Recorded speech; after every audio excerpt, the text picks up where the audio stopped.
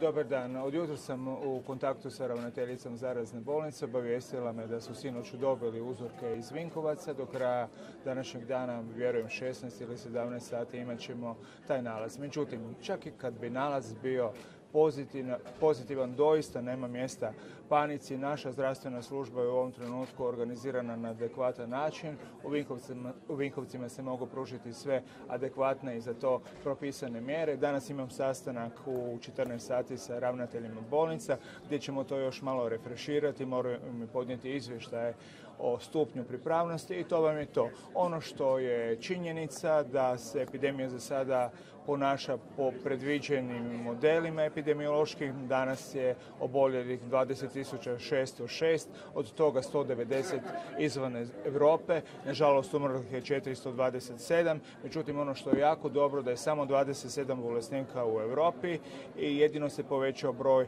u Njemačkoj. Ja sam jutros bio u kontaktu sa njemačkim kolegom, ministrom zdravstva i razgovaramo o tome. Ono što je važno u kontekstu hrvatskog presjedanja Europskom unijom da pokaže ćemo da vodimo računa o zdravstvenoj sigurnosti Europe, zato sam jučer bio u Briselu, pokazali smo našu želju za komunikacijom, razgovor i poduzimanjem zajedničkih mjera. Ja kao čovjek i liječnik e, volim puhat na hladno i doista mislim da trebamo ozbiljno razgovarati o mogućoj prijetnji, a isto tako se nadam da se ona neće realizirati. A sad vas molim da me pustite, imam dalje... Jesu li osim neki drugi pacijenti u izolaciji? Ne znam, ne znam kako... Pa naravno, ako je samo 427 umrlih, puno veći broj onih koji se oporave. Dakle, ako gledamo nekakav prosjek smrtnosti, to je 2-3%, to je čak manje nego obična gripa.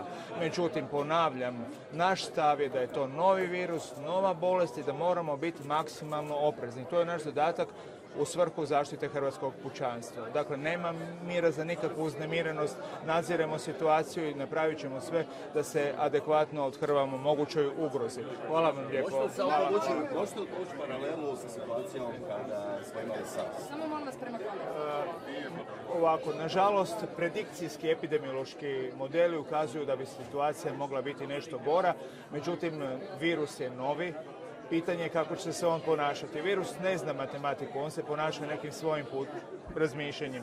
Pitanje je da li će mutirati ili ne. Međutim, većina dosadašnjih epidemija dok traje civilizacija ipak je trajala neko vrijeme pa nakon toga jenjala. Imamo situaciju, to sam jučer u Europi rekao, španjolske gripe koja je poharala u to vrijeme e, svijet. Međutim, današnji zdravstveni sustav većine europskih zemalja je na daleko većem nivou.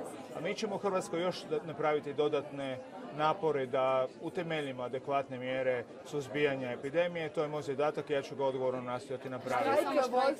Evo, bravo, hvala vam lijepo. Sve su to gorući problemi. Ja volim razgovarati. Već je pozvan gospodin predstavnik tog sindikata. Ne znam točno da li 15 ili 16 sati doći će mi na razgovor ja moram reći moje promišljenje vozači saniteta su doista ponekad ugroženi, prevoze bolesnike sa infekcijama koji krvare, dakle koji dolaze u kontakt sa infektivnim materijalom. Međutim, za razliku od vozača hitne, oni ipak ne ugrožavaju svoje živote prolaskom recimo kroz crveno i tako dalje. Treba biti pošten, priznati tu njihovu odgovornost i zadaću jednostavno iznivelirati njihove koeficijente i pa naravno, ali u kontekstu onog što je očekivano. Možda ne na nivou vozača hitne, ali povisiti. To je moje promišljenje, na tom tragu ću u vladi tražiti suglasnost i mislim da ćemo uspjeti riješiti taj prepor. O svemu treba prvenstveno razgovarati. Hvala Možete li na granici? Ministre, dvije na granici da. Pa naravno, nisam, nisam, da, nisam upoznat sa svim slučajevima u Republici Hrvatskoj. Nakon što je do mene došla informacija da je nekoliko građana ušlo bez kontrole, apsolutno sam u suglasu sa kolegom Božinovićem napravio sve da Hrvatska granična policija dobije jasne, nedvosmislene upute o postupanju. Zadržavanje tog nekog autobusa i drugih, drugih, ovaj, drugih putnika je produkt tog dogovora. Dakle, povisili smo e, stupanj obveze odgovornosti na adekvatan nivo. Pa naravno, nećemo ne dozvoliti ulazak u Republiku Hrvatsku, ali ćemo ispitati tko, odakle, kako, da li ima znakova bolesti. Znači ponašati se potpunosti sukladno sa pravilima struke. I ono što e, ćemo vjerovatno morati napraviti, nećemo zatvarati granicu ukoliko se na europskom nivou to ne dogovori, međutim mislim da ćemo morati smanjiti broj ulaznih točaka u Republiku Hrvatsku da bi ih u tom kontekstu mogli na najbolji mogući način nadzirati. Hvala vam. Hvala. Hvala.